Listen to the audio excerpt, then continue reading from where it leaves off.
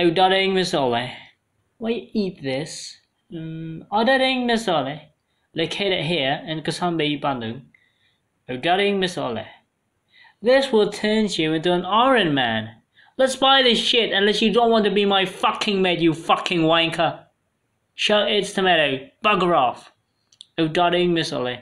The taste is very bloody fucking great. It's just like being made by Gordon fucking Ramsay.